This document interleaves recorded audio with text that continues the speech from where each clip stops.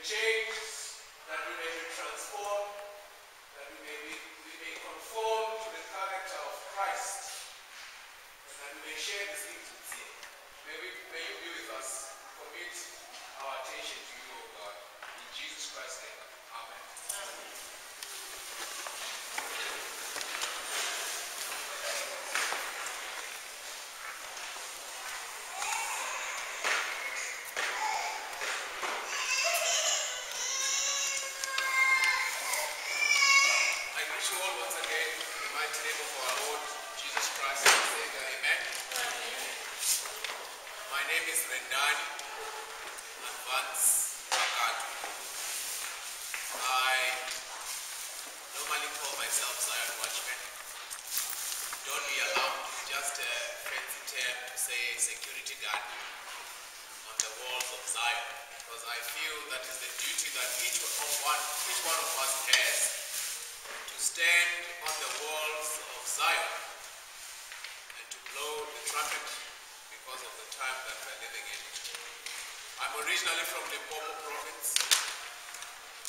Came here about eight years ago to study.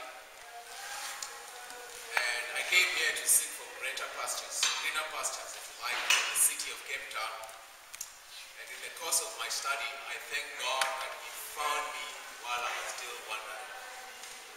And He revealed to me His message, His message of truth, which I'm going to share with you today.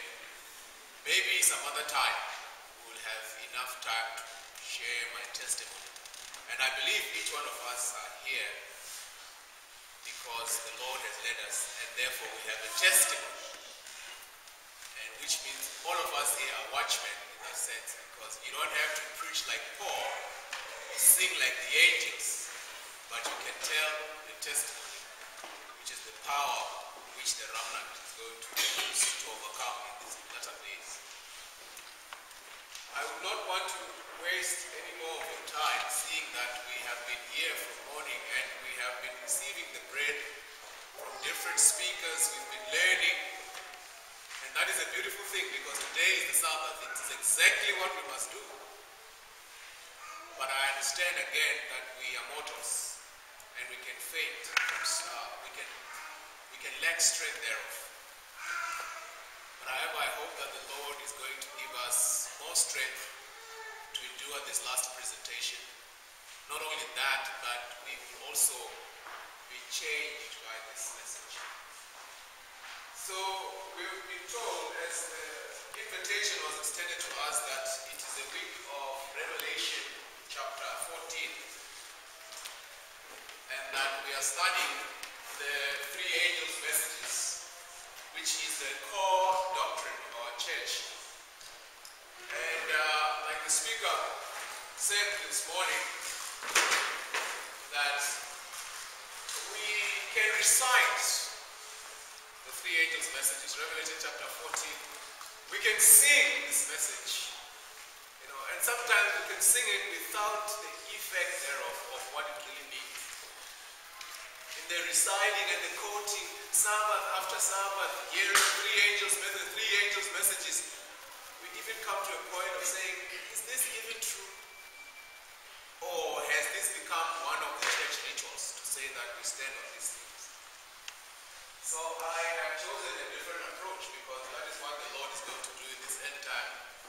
He's going to give ten times the spirit that was poured in the upper room. And young men shall see visions.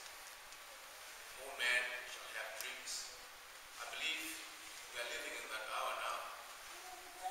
And uh, as much as God has committed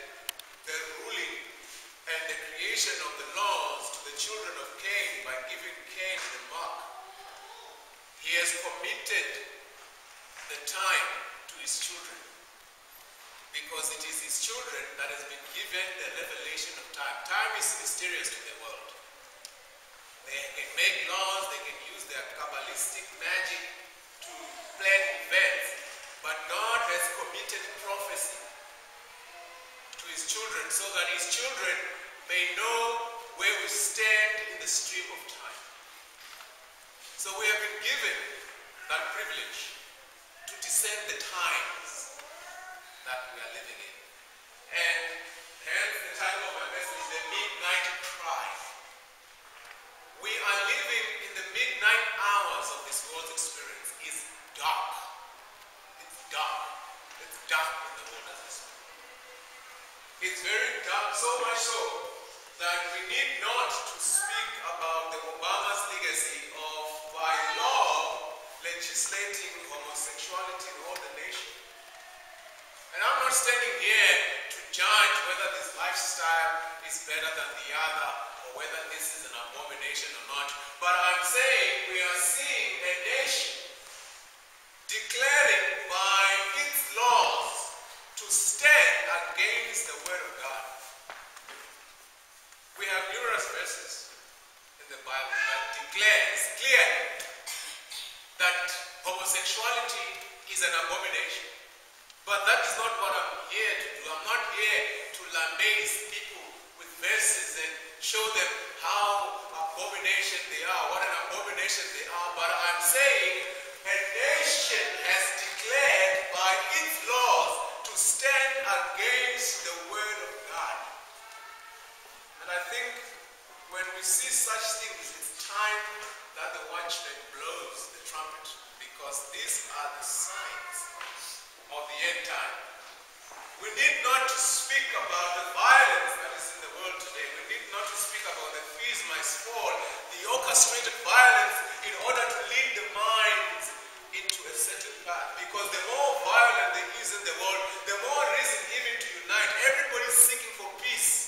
because there's too much violence. And that's exactly where Rome wants everyone to be. In a point of desperation, desperate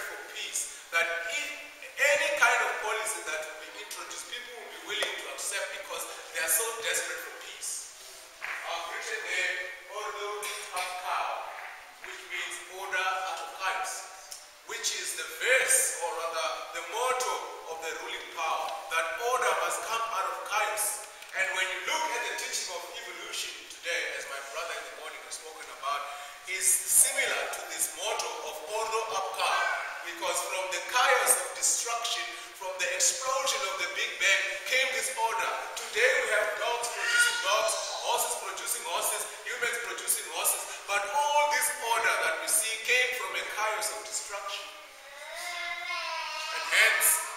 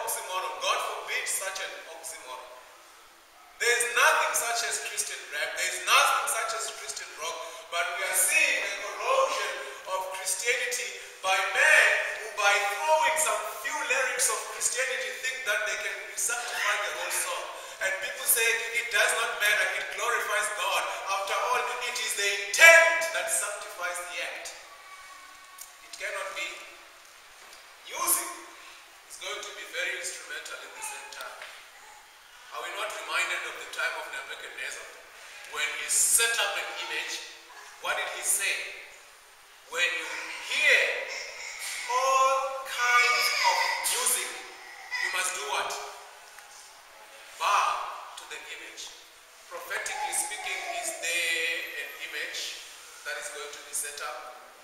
And the question is, will there be music involved in the bowing down of this image that is being set up? How is Jesus Christ perceived in this world? How is he now perceived? Instead of him being perceived as the way, the truth, and the life according to scripture, he is now just a way. Jesus Christ is but a way. Then he can stand next to Vishnu. He can stand next to Buddha.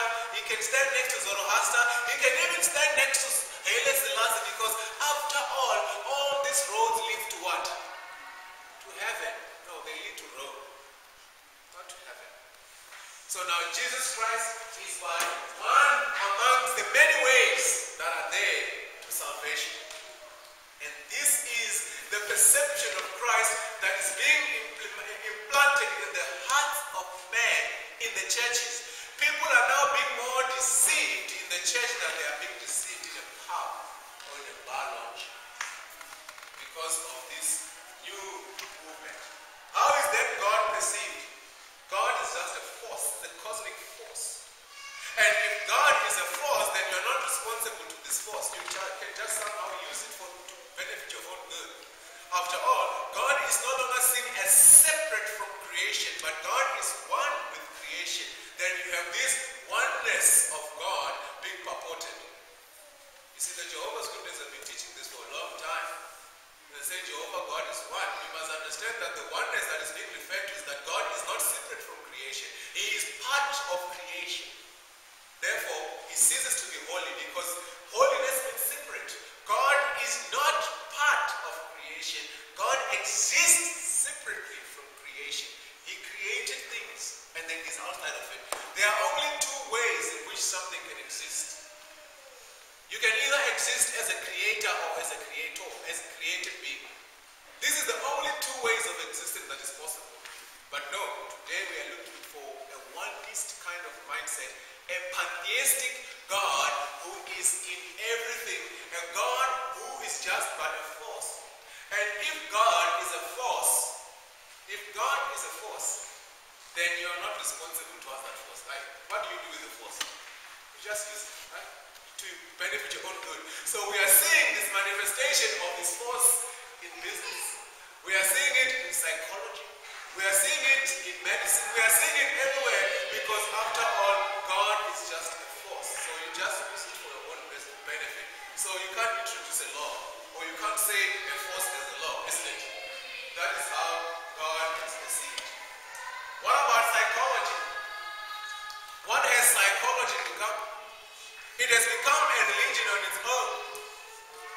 an attempt to give men relief, they are now psychologicalizing, that term does not exist by the way, sin away. We are finding a way to explain sin. If a man does wrong, we all know it's because of his childhood traumatic experience. It's called the Oedipus complex, uh, coined by Sigmund Freud, which said to be the father of psychoanalysis. So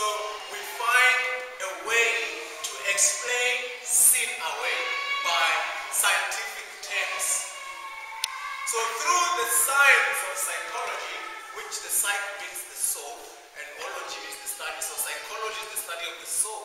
Already that just sets it in the wrong path because man is not just a soul and a body. Man is soul, spirit, spirit, soul, and body, and the soul is not the same as the spirit. These are not interchangeable terms. So if we are just studying the soul, we are denying the supernatural, and hence we get lost. And what is it offering They say that we need to confront the deep uh, content of our unconscious in- order to discover the self. And now strategy are being given on how one can heal himself by confronting the deep content of the unconscious mind. Then you can come to this wholeness. You can come to this sense of knowing who you are.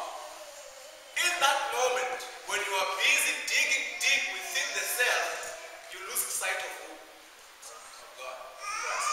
Psychology a now becoming a religion. I'm talking about popular, uh, mainstream psychology or secular psychology as well, because we must understand that a lie cannot stand on its own.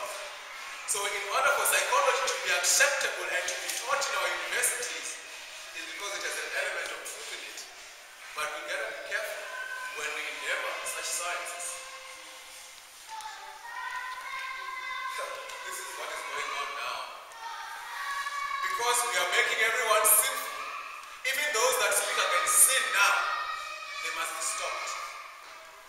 That's hate speech. You can't say homosexual. You can't say that's a sin. You can't say that's an abomination. That is a sin. Are these people attempting to silence the children of God? Are we getting closer to persecution? Because I tell you, this is. If you've been hearing messages ab- about after messages coming to church and you know just saying happy Sabbath and all that, and have not come to realize that this is the reality that we are facing, then I think it's time to wake up. That's why I've titled this message The Midnight Cry. We need to cry out. And I think this is the time where our faith is going to be tested because they are making laws. I don't know what was the result after that. I didn't to check. You know, I don't watch the news. The news find. Because even if you don't, when you go to train station, you see people everywhere. You you will be informed, even if you don't go searching. News is everywhere. And I, as a children of God, I think it's very important to be alert at the current events so that we may marry them with history and prophets, isn't it?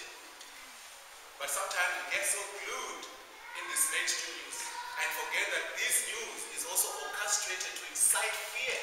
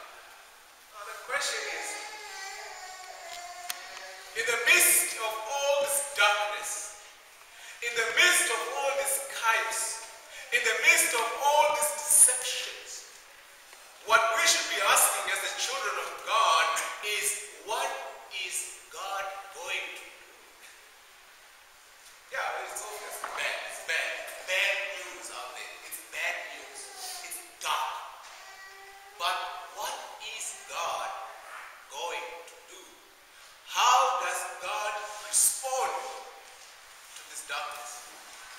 In order to know how God responds, we must know this God. Isaiah chapter 46, verse 9 to 10. Remember the former things of old. What are we being demanded upon?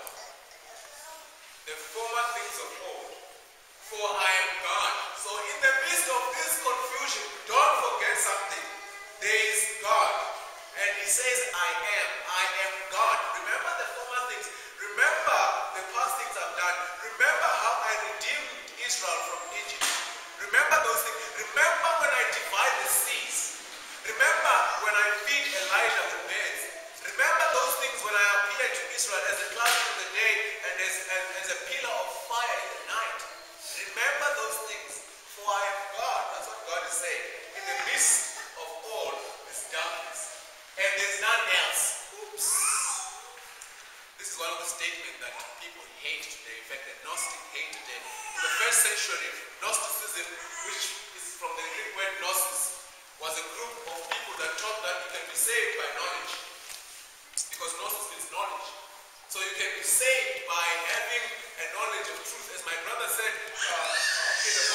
saying that in Christ's time, the Jews believed that a mere ascent to truth could save one because they were influenced by Greek lifestyle. That's what the Greeks taught. But the Gnostics hated the scripture with passion because God here is said to be presumptuous and not knowing because he says there's no one else. So they go on to teach that he does not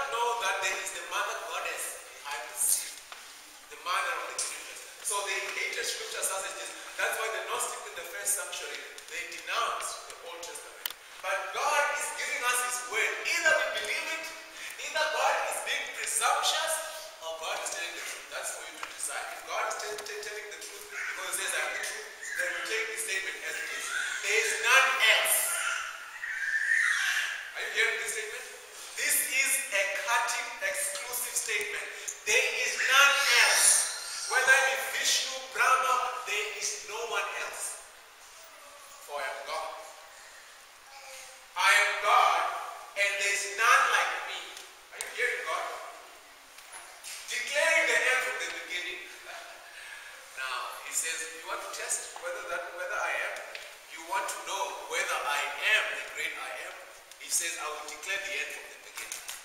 You know, I believe that for someone to qualify as God must at least have three characters or three attributes. Omnipresent, that is present everywhere at the same time. Omniscient, that is all-knowing. And omnipotent, that is all-powerful. The omnipresence of God, you and I cannot test, brothers, can we? Can you and I be in different place at the same time? So if, it, if God said, I'm God, I'm omnipresent, we wouldn't be able to test that, can we? What about all powerful? Can we test the all powerful? Can we test that?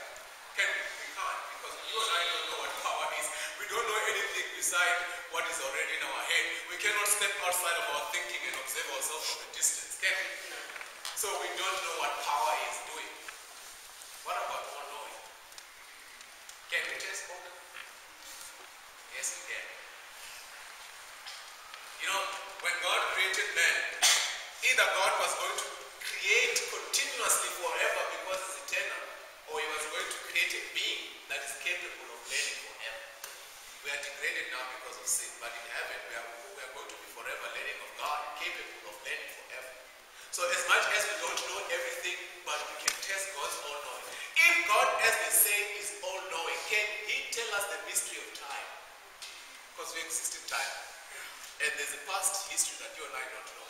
So we can ask God, okay, do you say you're all-knowing? So tell us what happened 2,000 years ago. Oh, you say you are all-knowing. Tell us what is going to happen 2,000 years ago. Now, this God of the Bible is saying to us, I will tell you that. And that is prophecy. That we can test. And I tell you, there is no book in the entire world that has foretold all the events of time without any degree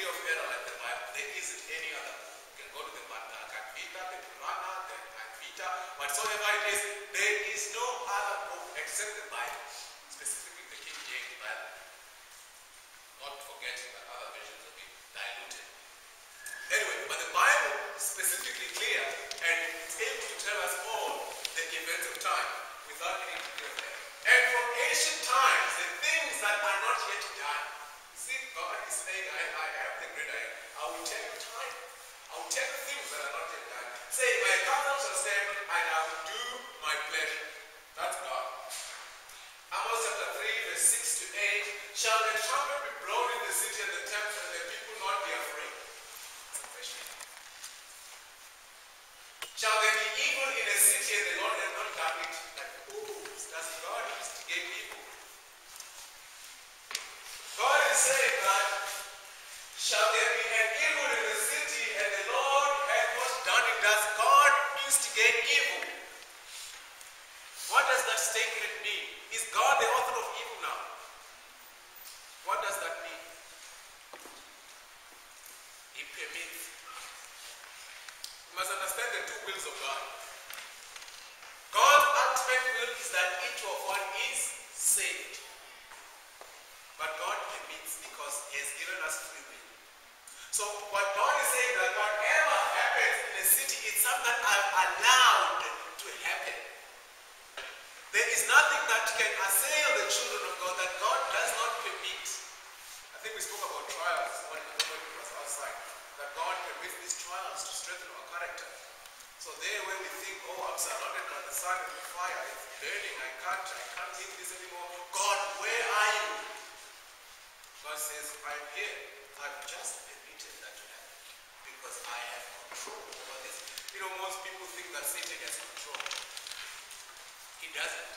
He has influence. God has control. And we must not forget that God has control. So, in the midst of this darkness, when Obama stood there and said, those that are against homosexuality are holding on to old tradition, God permitted that. And when the persecution of the saints shall come, God is going to permit that to happen because He is in control. And we dare not say, where is God now? Because He's there. He's even close.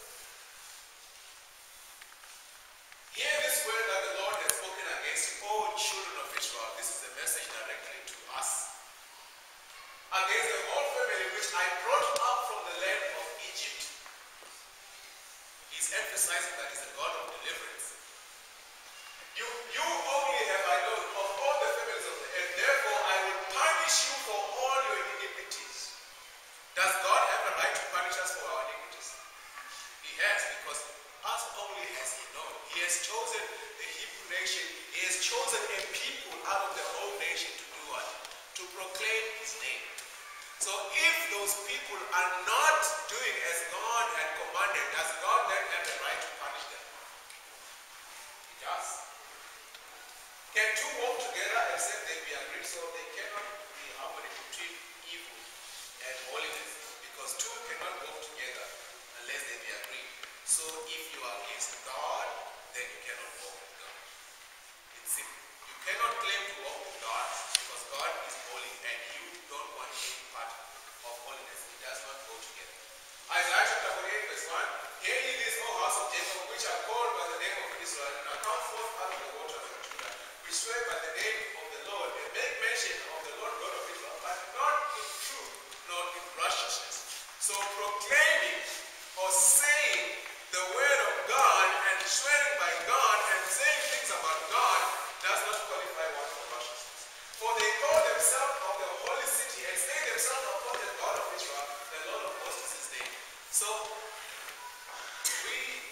claim to be the remnant,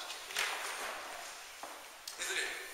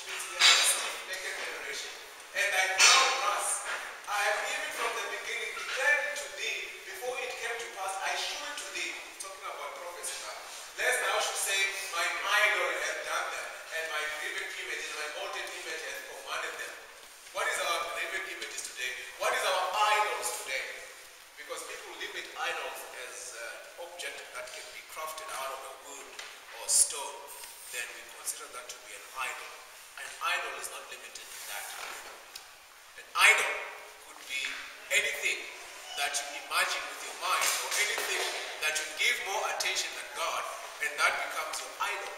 Which means your television can become your idol. Instead of saying, I've known this thing from God, you can start getting uh, uh, tripping about this thing and says, I was informed by television. And you can start taking for granted the prophecies of God because you think your idol, which is that a satanic altar that is in your home, television,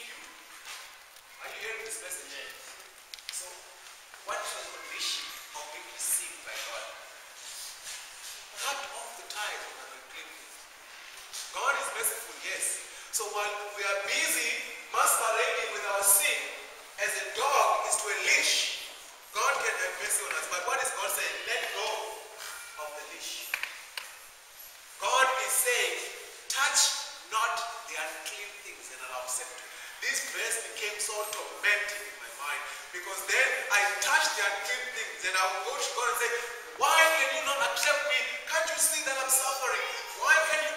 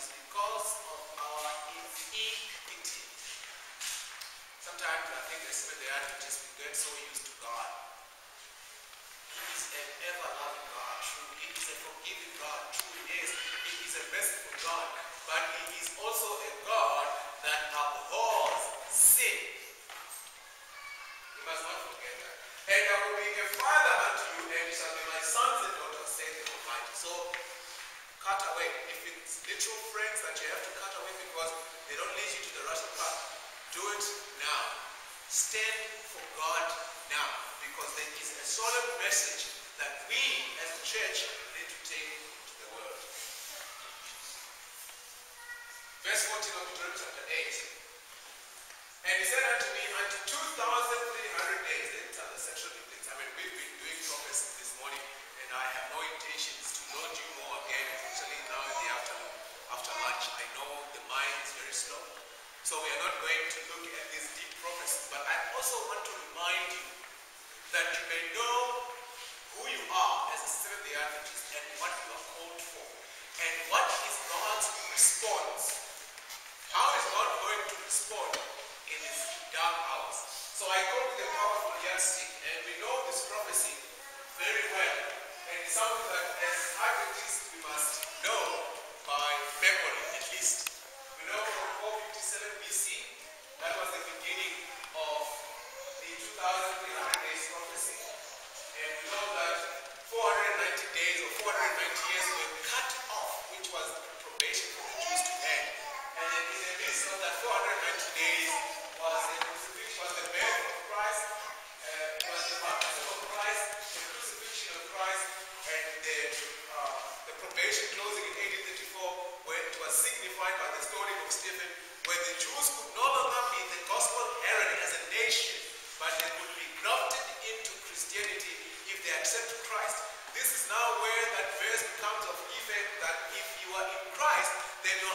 I'm.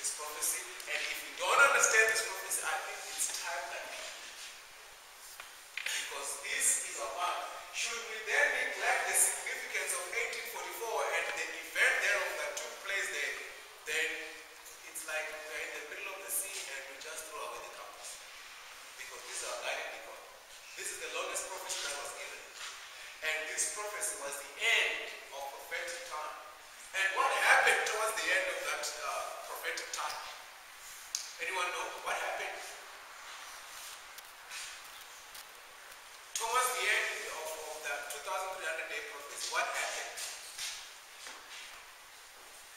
We can talk. It's the afternoon. I'm not giving myself. I understand. I'm tired. but we can engage so we don't fall asleep. Because when the belly is busy, the mind is slow. So let us try to engage.